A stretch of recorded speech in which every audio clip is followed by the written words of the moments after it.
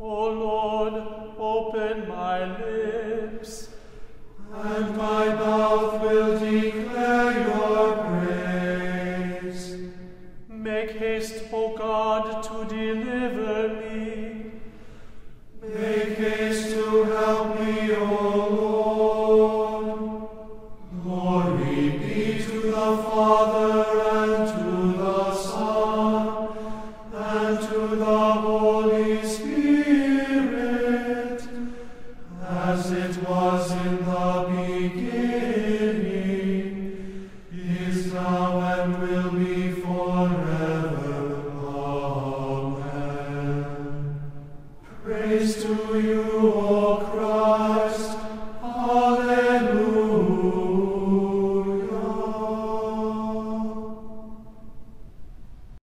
Blessed be God the Father, the Son, and the Holy Spirit.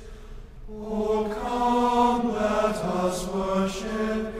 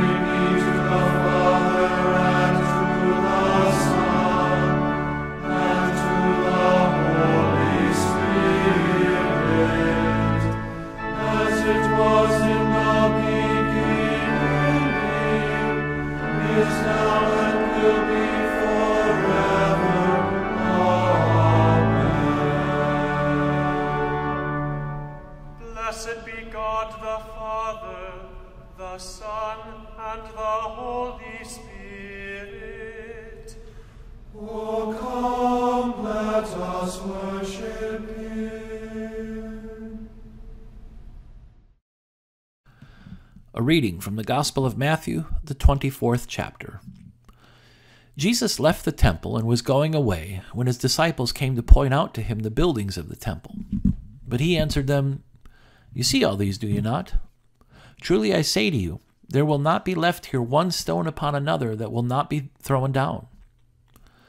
As he sat on the Mount of Olives, the disciples came to him privately, saying, Tell us, when will these things be? What will be the sign of your coming uh, and, and of the end of the age? Jesus answered them, See that no one leads you astray. Many will come in my name, saying, I am the Christ, and they will lead many astray. And you will hear of wars and rumors of wars. See that you are not alarmed, for this must take place, but the end is not yet. For nation will rise against nation, kingdom against kingdom. There will be famines and earthquakes in various places. All these are but the beginning of the birth pains. Then they will deliver you up to tribulation and put you to death, and you will be hated by all nations for my name's sake. Many will fall away and betray one another and hate one another. Many false prophets will arise and lead many astray. And because lawlessness will be increased, the love of many will grow cold. But the one who endures to the end will be saved.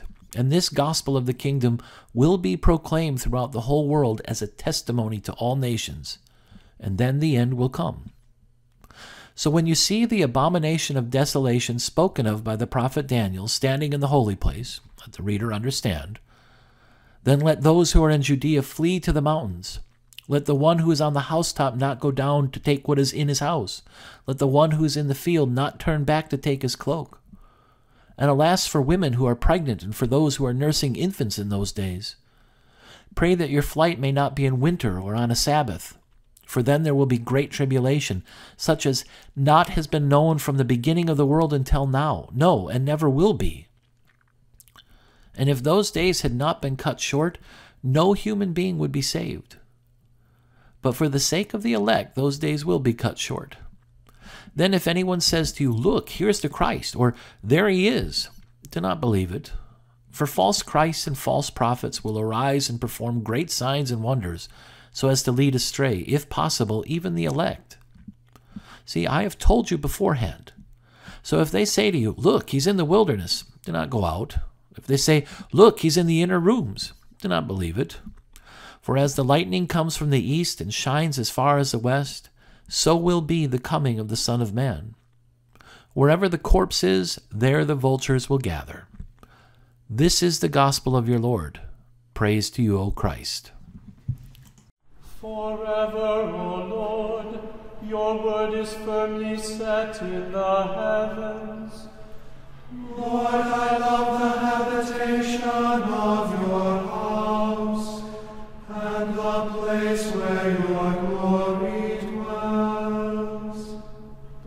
Are those who hear the word of God and keep it. Lord, I love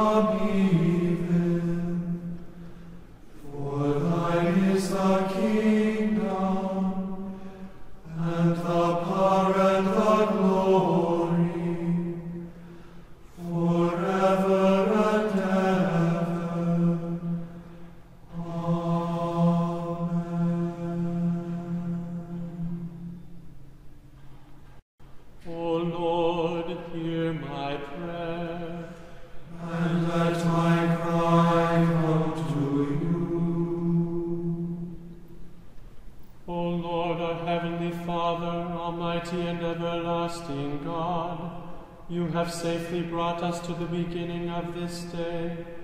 Defend us in the same with your mighty power, and grant that this day we fall into no sin, neither run into any kind of danger, but that all our doings, being ordered by your governance, may be righteous in your sight.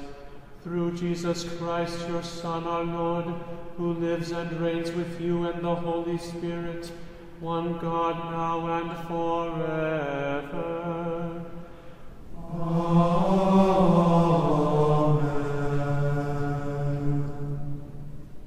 Let us bless the Lord. Thanks be to God. The grace of our Lord Jesus Christ, and the love of God, and the communion of the